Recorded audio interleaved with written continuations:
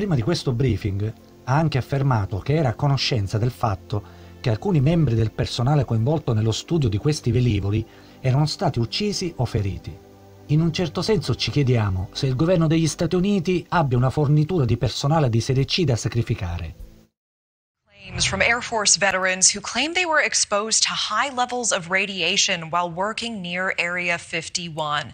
And joining us tonight is Dave Crete, one of the veterans who says he was exposed to that radiation while guarding F 11 stealth bombers at the Nevada test range. Mr. Crete, thank you so much for being here. Thank you, Natasha, for having me. And I know you say you have faced some serious health challenges after working at that test range. Can you tell us a little bit about your experience? So my experience was I was stationed out there from 83 to 87 and that my personal health issues are things like tumors, I have bad lungs, I have something called silicosis, which means scarring of my lungs from inhaling radioactive dust. Um, all of my kids have issues. They have birth defects and things that can be directly traced to it.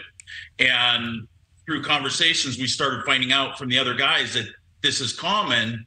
And now we look at it, and a significant number, uh, you know, it's anecdotal, but over half of the guys have either got serious health issues or have died that have been stationed out there. I'm so sorry to hear that, and I'm so sorry to hear about how this has impacted you and, and, and you say your family as well.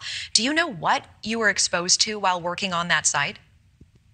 Yeah, the the primary thing was plutonium 239, which from the testing, because they the testing was within visual range right outside the front gate of where we were.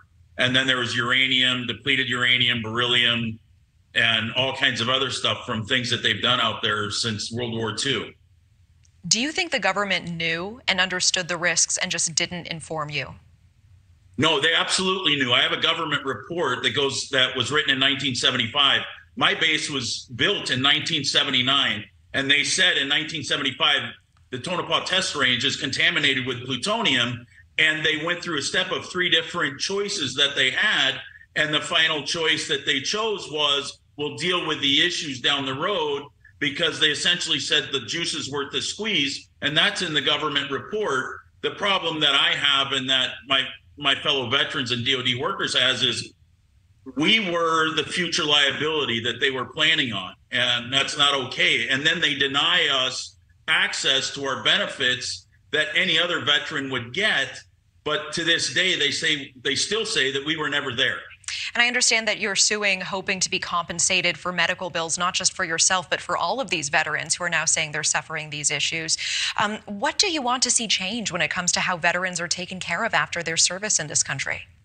Well, the, we're really not suing. What we've requested, and we we have a champion in Congress, Mark Amodei, uh, congressman from up in Reno, has helped us with getting a bill in draft so that we can not only this isn't about me. I mean, I used to think I was sick until I met the other guys.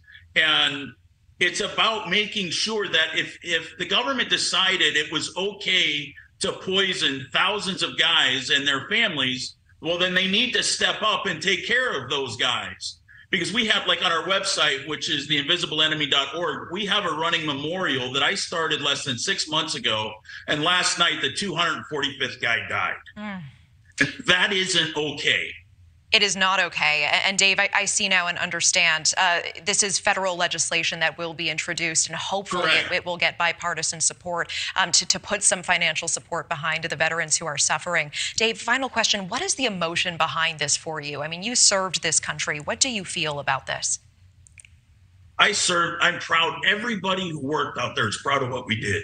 What we did was unique, it was incredible, but it's not okay to send people out there knowing what you're going to do to them and then ignore them using a, the veil of secrecy to say, well, now we don't have to take care of you because you were never there. It's not okay. It's not okay that my kid has neurofibromatosis.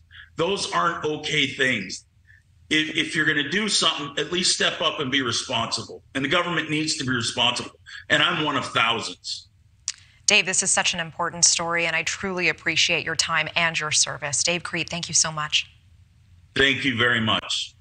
Think of that. Well, you knew, man, you guys are going to hell. You're going to go to hell. I don't even know if we need to do anything in this world because you are going to hell in the next world. Do you understand that? Crimes against humanity, crimes against humanity, and everyone else, all your names are going to be in history.